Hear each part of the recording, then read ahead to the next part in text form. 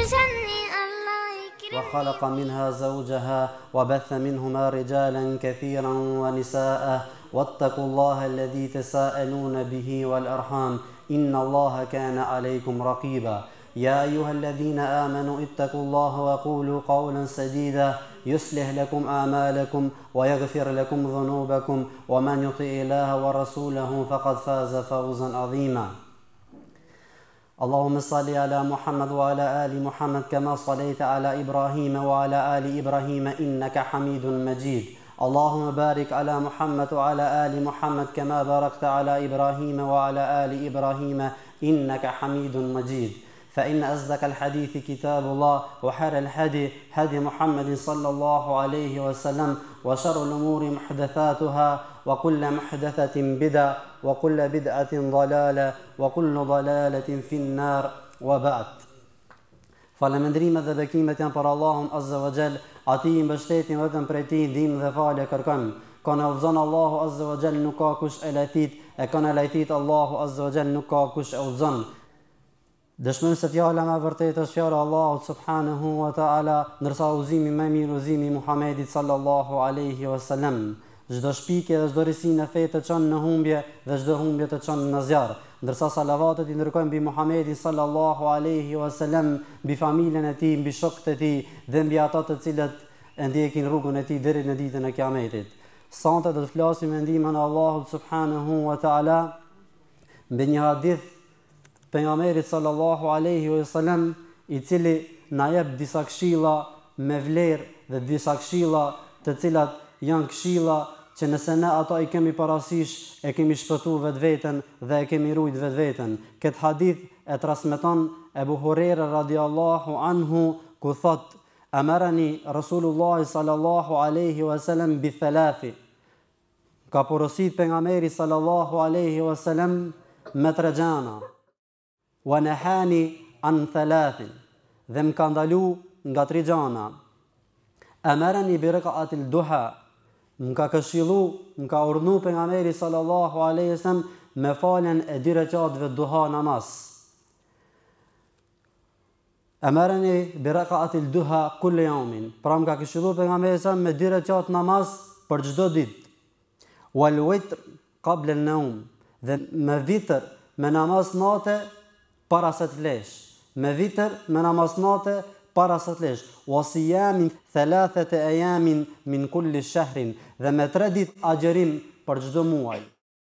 Këto ishin tre këshilla, tre urdhra, të cilat ja ja porositi pejgamberi sallallahu alejhi ve selem Ebu Hurejres, Wa nahani dhe më ndaloi, an nakratin ka nakratid dik, me u fal me shpejtësi,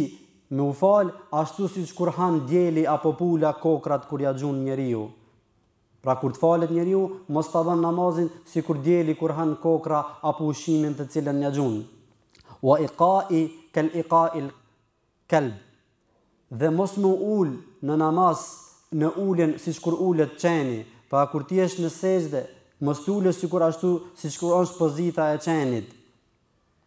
Waltafatil kaltafatil thalab. Dhe mos të veprosh apo mos sillesh në namaz gjatë namazit ashtu siç kur vështron dhelpra, Pra këto ishin tre ndalesat. Ne do ndalemi me ndihmën e Allahut subhanehu ua teala në këto tri këshilla, në të këto tri këshilla dhe në këto tri ndalesa ta shohim pak ma gjan se çka e kanë kuptimin këto pika, këto këshilla. Pra e fillimisht ky hadith ka të baje Gjithashtu me nafilet. Nuk ka të baje me farzet, nuk ka të baje me vaxhibatet, po ka të baje me nafilet. Namazi duha është nafile, namazi natës është nafile, po edhe agjërimi, tre ditë agjërimit në çdo muaj është nafile. Pra nafilja e ka një vlerë të madhe në din. Është një ibadet i cili T'i run farzet. Është një ibadet i cili ta ka rujt, ta ka mbrojt farzin ty të cilin e përvesh. Nëse kujdesesh ti për nafilet duha, nëse kujdesesh ti për namazin e natës, ti shumë ma të garantum e ki namazin farz. Nëse kujdesesh ti për agjerimin nafile, Shumë ma let e ki ti kur të të vjen agjërimi farz për ta agjëru ata. Pra, dobija, apo ajo ma e rëndësishmja nga ky hadith është fillimisht se, nëse ti kujdesesh për këto, është garancë e jotja që ti, që ti e garanton farzin tënd. Ti e garanton farzin tënd nëse kujdesesh për nafilet. Pra, argument për të thotë pejgamberi sallallahu alejhi ve selem, Ishte po ashtu e transmeton këtë hadith Ebu Hurejra thotë e kam dëgju Pejgamberin sallallahu alejhi ve selem se njeriu ditën e kijametit e para vepër të cilën dhe do të llogaritet para Allahut subhanehu ua teala është për namazet farz do të pytet ai se a i ka plotësu këto namaze Nëse ai nuk i ka plotësu këto namaze, do t'iu thohet melekëve që ta shikojnë se a ka ba ndonjë vepër ki nga nafilet. A ka vepru diçka sunet? A ka falë diçka nafile ki person? Nëse ka falë ki person diçka nafile, do t'i thuhet merrni prej ative nafileve dhe plotësojnja apo plotësojnja apo mbushnja domethonë shprastinën e namazeve farz të cilat i kanë i kanë mbetur këtij. Pra, kjo është dobia. Po ashtu vazhdon hadithi, vazhdon hadithi dhe thotë, Po ashtu do të vazhdon, domethënë, te njeriu, kur të llogaritet para Allahut s'onë, për çdo farz tjetër do të veprohet kështu pra. Për Ramazanin farz do të veprohet kështu. Për çdo vepër të cilën e ke pas farz, do të shik, nëse ti je kon i mangët në farzet tua, do të shikohet se a ke pas ti nga nafilet diçka që ti je të të plotësohet. Pra kjo është ajo dobia dhe Dobija dhe këshilla e madhe që e marrin nga ne domethënë nga ki hadith që mos të pritojna sot në këtë ditë të veprojna nafile siç namazet apo siç është agjërimi dhe veprat tjera të cilat kanë të bëjnë me nafilet. E dyta që ka të bëjë prej dobive dhe mirësive nga ki hadith e kuptojmë, Thotë Allahu subhanehu wa ta'ala, Men ade li waliyen faqad adhintu bil harb, Ai i cili ma lufton, ai i cili ma nguc mu një një mik timin, atij unë i kam mi shpallë luftë, atij unë kam mi shpallë luftë. Vazhdon hadithi dhe, thotë pejgamberi sallallahu alejhi ve sellem, Nuk ka mundësi që njeriu të afrohet te Allahu dhe të bëhet i dashur dhe të bëhet mik i Allahut subhanehu wa ta'ala përvetëm se duke i vepruar farzet përveçse duke i vepruar farzet dhe obligimet e Allahut dhe duke ba vepra nafile, është vepër e cila afrohet dhe bahesh mik i Allahut subhanehu wa ta'ala dhe ban që Allahu e don atë person dhe e bën mik dhe për atë duhet të jesh shkak që të bëhesh mik i Allahut subhanehu wa ta'ala duke i ju dhonë rëndësi veprave nafile që të bësh mik i Allahut dhe ta fitojsh atë të cilën Allahu subhanehu ue teala e ka garantu pra ai i cili mangut një mik timin Allahu do ti shpall luftë nëse don që ti të jesh prej atyre që Allahu ka dhënë premtim bonu i kujdesshëm dhe veproj apo kujdesu për nafilet e tua po ashtu nafilet Nëse ne kujdesemi, shembulli i nafileve është në këtë dunja, sikurse njeriu kur e zbukuron dhe e ndërton një shtëpi. Nëse atë shtëpi e ke bo shumë të bukur, e ke rregullu me krejt ata të cilat ti i dëshiron, nëse asaj nuk ja vnon një duvar apo një mur rreth asoj shpisë apo asoj oborrit tënd, ça ke ba, kurgjo s'ke ba. Çdokush që e ndërton një shtëpi të bukur, ja vendon një duvar, ja vendon një mur rreth. Për shka? Për shka që ta mbron nga të tjerët. Për çka që ta mbron se ti nëse e len pa duvar dhe pa derë, shumë lehtë mundet me hi në shtëpi, edhe pse shtëpisë i ke ba derë dhe dritare, po megjithatë ja vendon një mur. Pra në këtë dunja, për farzët e tua, është nafila sikur një oborr të cilin e rrethon ti me mur apo me derë të hekurit. Pra kështu ti banu i kujdesshëm që të jesh i sigurt që ta sigurojsh farzin tënd dhe ibadetin tënd me nafile në këtë dunja. Vazhdojmë me këtë hadith me këshillën e parë të cilën e marrim nga ky hadith. E para është emereni bi rak'atayn al-duha kulla yawmin. Pra pejgamberi sallallahu alaihi wasallam e këshilloi Ebu Hurajrën radiallahu anhu ku me një transmetim tjetër thuhet emereni halili, pra më këshilloi i dashuri.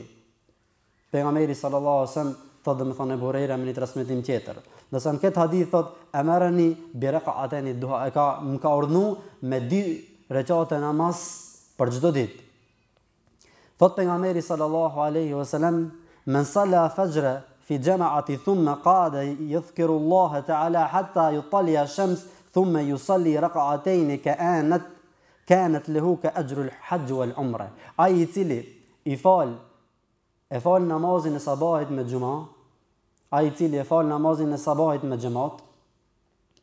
dhe ulet pas namazit e përmend Allahun subhanehu wa teala ban dhikr derisa del dielli dhe i fal dy rekate duha thoshte ka marrë shpërblimin ka marrë sevap sikurse me e ba umrën dhe haxhin Ka marrë sevap sikurse me ba Umren dhe Haxhin. Pra mi fal dy rekate namaz duha paska një shpërblim, paska një sevap të madh, përveç asaj të cilët i përmendëm ma herët. Paske sevap sikurse me ba Haxhin edhe Umren. Pra nuk ja vlen që muslimani t'i hik kjo vepër, nuk ja vlen domethënë që ta len pas dorësh.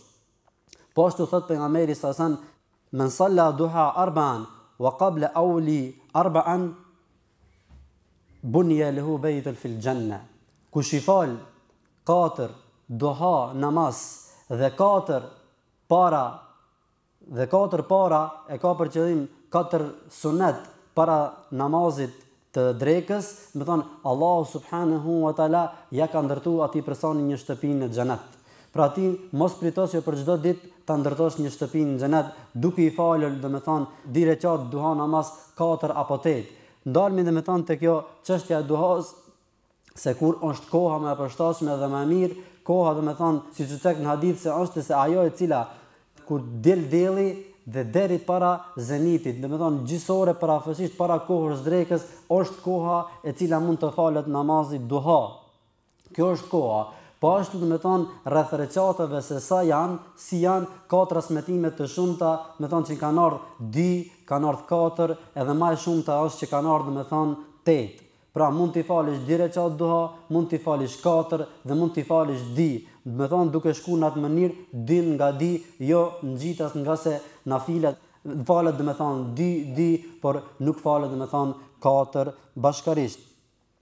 Kjo është domethënë po ashtu ka ardhur në një hadith tjetër Ku thotë Pejgamberi sallallahu alejhi ve sellem, Salatul Duha salatul evvabin, pra, namazi duha është namazi i atyre të cilët kanë shpresë te Allahu subhanehu ve teala, pra, në një hadith tjetër ka ardhur se koha, cila është koha më e përshtatshme, koha më e përshtatshme thonë transmetuesit atëherë kur fillon që koha të nxehet ma së shumti, domethënë faktikisht një orë apo dy orë para zenitit, domethënë gjysë ore para se të thirret namazi i drekës, domethënë kjo është koha më e përshtatshme përafërsisht domethënë ora dhjetë apo para kësaj pak apo mas shumë. Këshilla e dytë e cila vjen nga ky hadith është.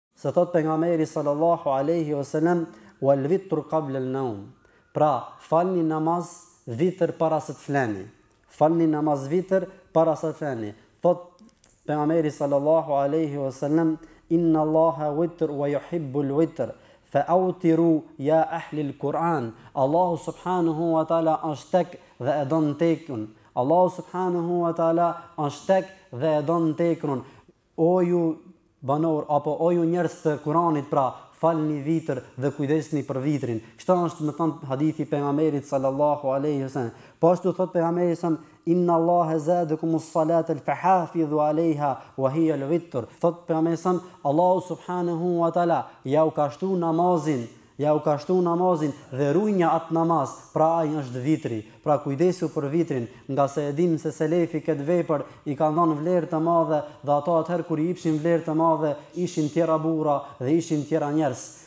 Nuk është rastisht domethënë ky hadith i pejgamberit alejhi selam i cili na porosit me këto tre gjana, se janë çështje të cilat njeriun e bëjnë të fortë n'ibadet, e bëjnë të fortë n'shëndet dhe e bëjnë të fortë domethënë e bëjnë të jetë ai në lëvizje dhe të jetë ai domethënë që mos ta merr shejtani dhe t'ia bën rrafsh dhe t'ia humb ditën. Pra, të jesh i kujdesshëm ta falësh namazin e duhas është shkak që ti prej mëngjesit, lëvizesh me diçka, të jesh ai i cili agjëron domethënë Është shkak që ti përpiqesh natën dhe çohesh dhe agjëron, po ashtu gjatë ditës e mban veten dhe kujdeson veten me agjërim, po ashtu namazi natës bën ty që mos të jesh ai i cili ja fut gjumë prej mas jacie deri në mëngjes, po të bën që të lëvizësh dhe të çohesh atëherë kur për ty është më e dobishme. Pra kjo ishte domethënë prej dobisë apo prej këshillës dytë nga ky hadith. Ndërsa e treta është Es sijamu thalathe ejamin min kulli shahrin, me agjëru njeriu tri ditë në çdo muaj.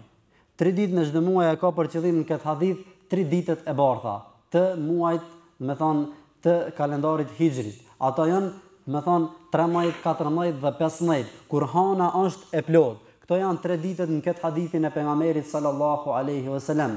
Pra është një vepër e cila, me një hadith tjetër thotë Pejgamberi sallallahu alejhi ve selem, Men same fi sebilillahi yawman, Kush e agjëron në rrugën e Allahut subhanehu ue teala një ditë, një ditë për nafilen, Allahu subhanehu ue teala ia largon fytyrën e tij prej zjarmit të xhehenemit shtatëdhjetë vite. Pra, pse ne mos të jemi ata të cilët, brenda muajit të agjërojmë tre ditë, nga shtatëdhjetë vite, dyqind e dhjetë mijë ditë domethënë ti e largon fytyrën tënde nga zjarmi i xhehenemit. Për çka? Për tre ditë ti të agjërosh. Po ashtu ti e përgatit veten tande, e përgatit veten tande për at ditë kur ti e ki farz. Për at ditë kur ti e ki farz agjërimin ti e përgatit veten tande, e mëson shpirtin tënd. Po ashtu hadithe tjera që kanë ardh domethënë për Ramazanin, për agjërimin, vlerën, po ashtu pejgamberi sallallahu alejhi ue selem thotë, Kale Allahu azze ue xhel, Kullu amelin ibni Ademin lehu illa sijamun, fe innehu li, wa ene exhzi bih. Krejt veprat janë për robin ibn Adem, përveç agjërimit, përveç agjërimit është për mua dhe unë shpërblej për ata. Pra Allahu subhanahu wa taala me këtë hadith na tregon se gjitha veprat na ka tregu vlerën, na ka tregu masën e shpërblimit, ndërsa për agjërimin vetëm Allahu subhanahu wa taala din se ai shpërblen pa masë. Ai din se sa shpërblen për këtë vepër. Pra, mos të jemi njerëz të cilat e lëmë anësh, po t'i japim rëndësi, ta përfitojmë, ta qesim në praktikë këtë hadithin e Pejgamberit sa, mos të pritojmë, nëse ne harrojmë, se ne ka mundësi njeriu kjo dunja ta ta marrë mendjen at anë dhe në këtë anë, po t'ia kujtojmë shokut, t'ia kujtojmë vëllaut, t'ia kujtojmë familjes kur të vinë këto ditë, Ta këshillojmë t'ia përmendim këtë hadith që të bëhesh shkak edhe ti vetë që agjëron po edhe të tjerët t'i shtish dhe ta ta praktikojnë këtë këtë vepër Po ashtu thotë pejgamberi sallallahu alaihi wasallam Allahu subhanahu wa taala i shumëfishon veprat prej 10 deri 700 fish Prej dhjetë deri shtatëqind fish. Paramendoje ti nëse Allahu subhanehu ue teala ta shumëfishon këtë ditë të agjërimit në këto ditë të nxehta, me këtë vlerë që ta ka dhënë, me këtë shpërblim që ta ka dhënë, po ashtu thotë, domethënë premton Pejgamberi sa selam se Allahu subhanehu ue teala ta shton këtë këtë shpërblim, ta shton këtë vepër. Do të thonë këto ishin tre këshilla prej hadithit të cilat Pejgamberi sallallahu alejhi ve selem e këshilloi Ebu Hurejren. Lusim Allahun azze ve xhel që Allahu të na i bën që këto veprat të janë në përditshmërinë tonë, të janë në jetën tonë, nëse nuk i kemi dhe nëse nuk i kemi pas, e lusim Allahun që Allahu të na i mundëson t'i bëjmë. Nëse ne i kemi këto vepra, e kemi për obligim që t'i porosisim dhe të këshillojmë të tjerët që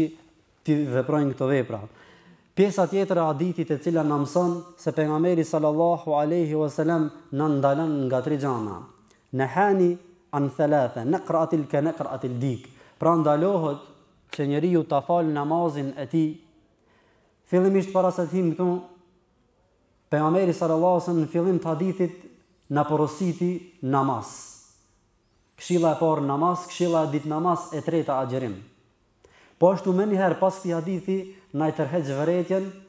krejt që ka të bëjë me namazin. Jo rastisht Pejgamberi sallallahu alejhi ve sellem në këtë hadith vijnë domethënë këshillat dhe vërejtjet se si njeriu duhet të jetë në namaz. Ngase për fat të keq në ditët e sodit shumë njerëz i sheh se namazit të tyre nuk ja apin hakin. Ibadetit të tyre nuk ja apin hakin, ndërsa Pejgamberi sallallahu alejhi ve sellem Pejgamberi thotë Obligohet, do të thonë, secili njeriu t'ia jep hakin veprës së tij. Pra, e ka obligim se secili njeriu që e bën një vepër, asaj vepër t'ia jep hakin e saj. Pra, namazi ka hak, agjërimi ka hak, punën të cilën ti e merr ta bësh si përgjegjësi, asaj pune duhet t'ia japsh hakin. Pra, thotë pejgamberi sa selam, Nahani an thalathin, naqra'atil ka naqra'atil dik, pra, mos ta falish namazin tënd sikurse djeli i cili han kokrra, apo sikurse pula e cila han kokrra kur i gjun. E keni pa, e han një kokë dhe e çon kokën, e han një kokë dhe e çon kokën shpejt, e han një kokë dhe e çon shprejt. Pra, mos të jetë namazi jonë kështu.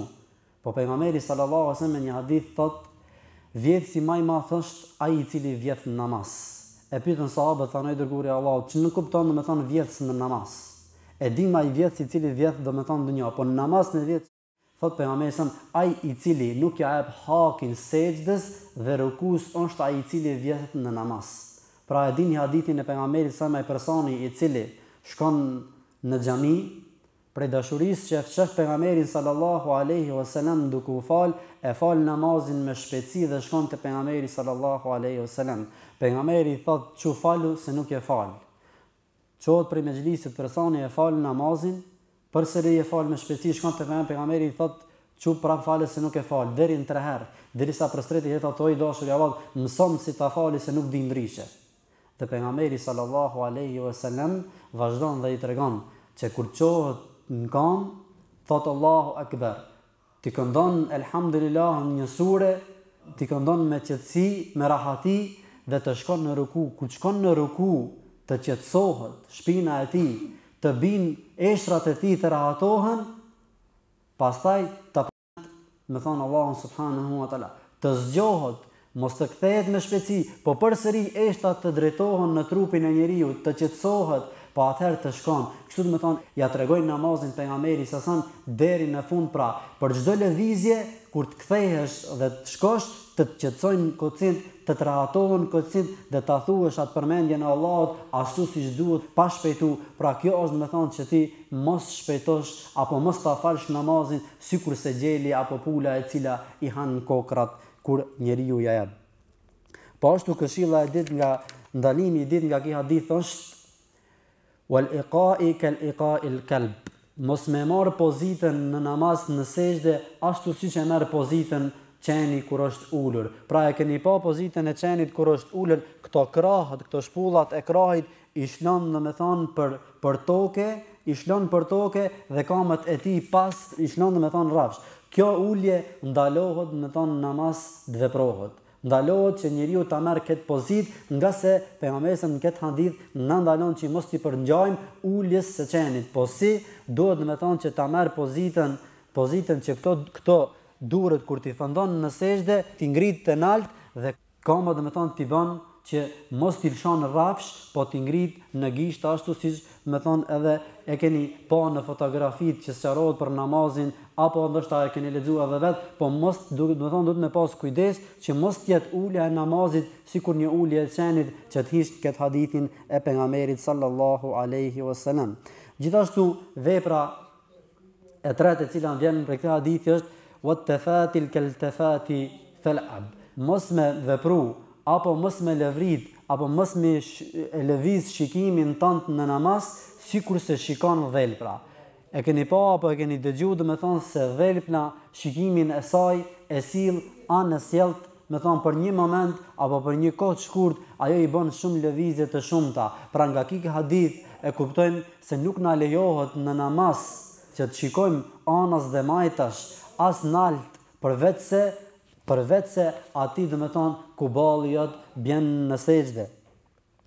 Përveçse atij, ku balli jot bjen në sexhde. Po ashtu është një hadith tjetër i cili vjen, domethënë, si qortues që Pejgamberi sallallahu alejhi ve sellem ka ndalu me një hadith që njeriu gjatë namazit të shikon lart, ngase në atë moment ka mundësi që Allahu ta zbrit një smundje në sytë e tij që kurrë, domethënë, nuk ka mundësi të të shërohen. Pra është hadith kërcënues dhe është hadith shumë, shumë, domethënë, me që njeriu me pas frigë dhe me pas kujdes që gjatë namazit e tij mos të shikon në lart pra është e ndalume rrepsisht që gjatë namazit të shikohet lart jo drejt por lart ngase transmetohet që sahabët domethënë e kanë pa pejgamberin salallahu alejhi ve selem kur ka qenë në namaz dhe ai është qenë falur transmetohet se e kanë pa mjekrën domethënë xhan dhe e kanë pa domethënë fëlqinjën e tij duke levizë nga këto hadithe tjera nënkuptojmë dhe mësojmë se njeriu lejohet që pamjen e tij ta ketë pranë domethënë imamit apo kështu me radhë dhe poshtë, po nuk lejohet domethënë që ta kesh lart anas dhe majtas.